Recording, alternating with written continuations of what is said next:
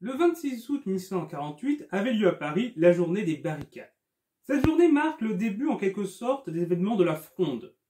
Cette journée s'inscrit dans un contexte politique assez particulier de tension entre les parlements et la régence. En effet, Louis XIV étant alors mineur, il y avait une régence exercée par Mazarin et par la reine-mère Anne d'Autriche.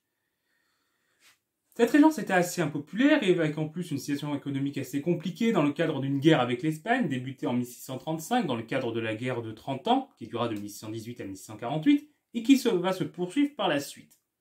La pression fiscale avait donc grandement augmenté suite à cette guerre, et donc c'était une question tendue, une question cruciale de cette question de la fiscalité. Et cette tension va atteindre finalement son paroxysme ce 26 août, lorsque deux parlementaires vont être arrêtés. Pierre Broussel et René Poitier de Blanc-Mesnil, qui était également le président de la Chambre d'appel, donc c'était quand même quelqu'un d'assez important au Parlement, et donc ils sont arrêtés pour leur opposition à la Régence et aux nouvelles taxes qu'elle veut mettre en place. Cette arrestation va mettre le feu aux poudres. Dès que la nouvelle de cette arrestation est connue, des émeutes arrivent, éclatent à Paris. Le peuple parisien commence à se soulever. Il y a des rassemblements qui sont euh, dispersés assez violemment par la troupe. Ça va encore aggraver les tensions et des barricades, des centaines de barricades vont se monter en ville. Le Parlement va alors demander à la Régence de libérer les deux prisonniers, ce qu'elle va refuser de faire. Les parlementaires vont insister, vont rester déterminés sur leur position, soutenus par le peuple de Paris qui continue de se soulever, par les barricades qui restent en place, et finalement le 28 août, deux jours plus tard, les deux prisonniers sont relâchés.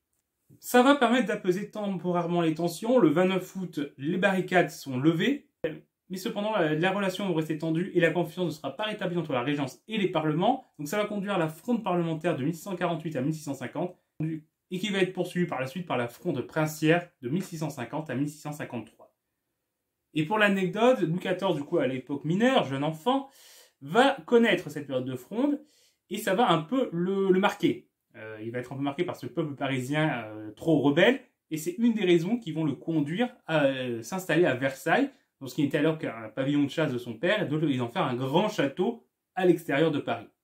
Et historiquement, lorsque le gouvernement cherchait à s'installer en dehors de Paris, c'était qu'il craignait le peuple de Paris, comme ce fut par exemple le cas pour le, gouvernement euh, au début de la Troisième République, qui s'installa également à Versailles, face à un peuple parisien trop agité, comme l'a bien montré la commune de Paris qui a suivi.